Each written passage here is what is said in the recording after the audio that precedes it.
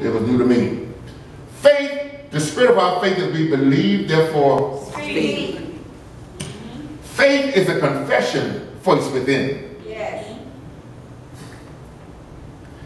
I confess to myself in my heart Yes. that I believe God. Yes.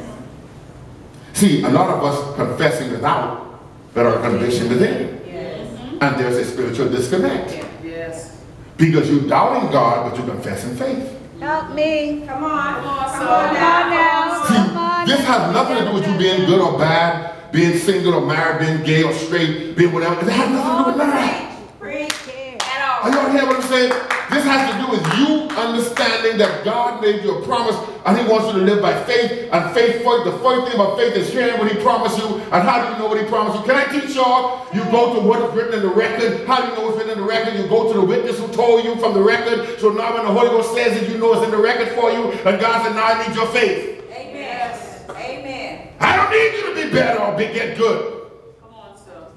I need you to believe. Yes. Hallelujah. I need you to get a confession in your heart, a conviction in your heart that if I said it, I'm able to do it. Hallelujah. For those who come to God must believe that He is, and that is the reward of them who diligently seek Him. Yes. And most of the church don't believe what I'm saying now, Helen. Y'all walk with me. Please walk with me, General. This gonna change your life. You have to develop a confession within yourself first. The woman with the issue of blood, she said to herself, Yes. Yes. If I. No, Shandor.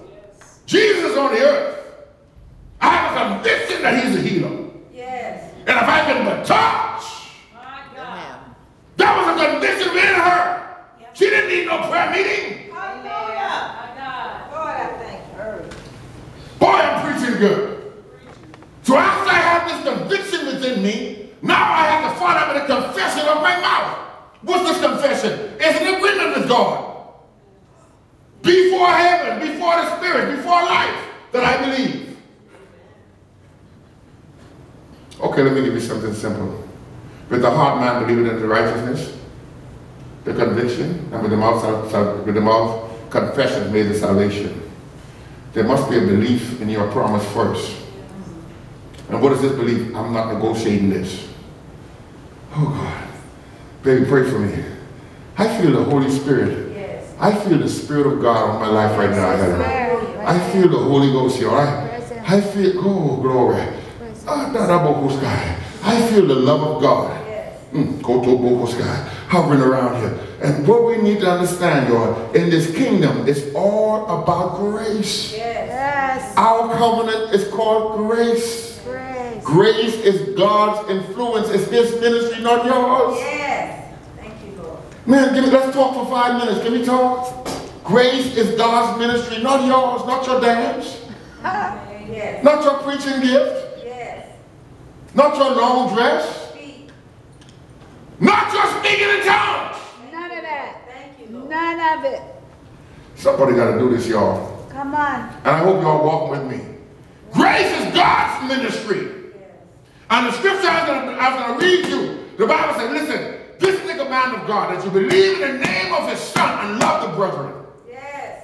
And the name of his son means, the name word means, it don't mean surname, it means his title, his position, his authority. And if I believe in that authority, then I'm accepting this grace package. Thank you.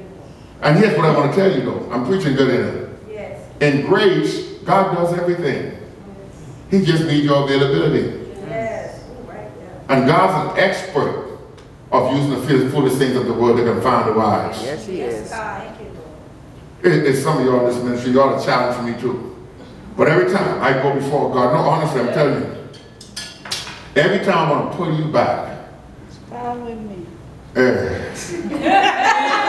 y'all keep me lifted up. every time I want to pull you back, God asks me the question, what about my grace? Wow. Thank you, Holy Spirit. What a revelation. Because I have all kind of things that religion has told me, you know. Yes. Yes. This shouldn't happen. That shouldn't happen. This shouldn't happen. They shouldn't do this. But what about grace? What about the power of Christ? Yes. Oh, God, I got to say this for that. Paul says, I would rather glory in my firmly.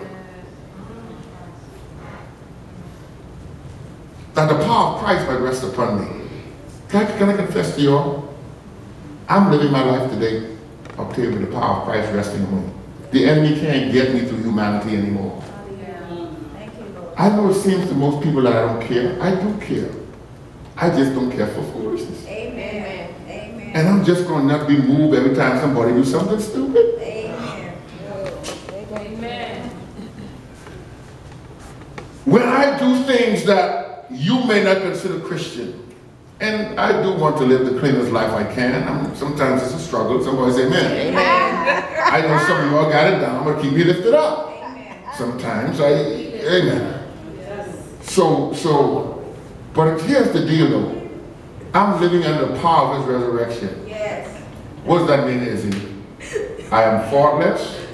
See, are y'all ready for this? Yes. Do I have some people who are ready to go where this ministry is going? Yes. Do I have the people who are ready to to pave the way for those who are coming?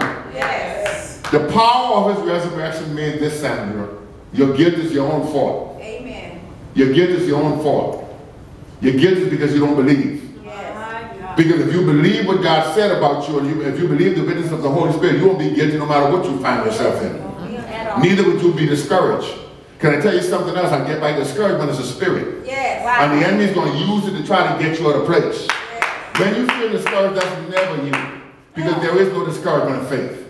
Now, nobody deals with discouragement more than I do, I don't think. But today I know it's a spirit heaven. Yes. I'm not going to speak on behalf of discouragement today.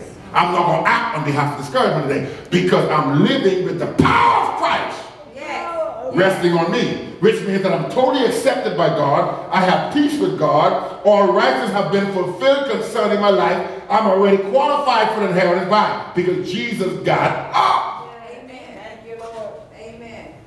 So now there's therefore no condemnation to me because Jesus got up. Yes. Thank you, Lord. So when I'm walking in the power of his resurrection, yes, I'm going to work on myself. Yes, I want to live the best life possible. But I have an advocate when I don't. Amen.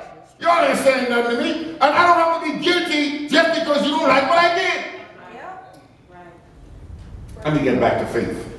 Pray. I, I, I, I'm going to be done here. Are we here? Yeah. Let's just talk. Are y'all catching what I'm saying? Oh, I, I don't want to do church, y'all. I don't want to do the performance.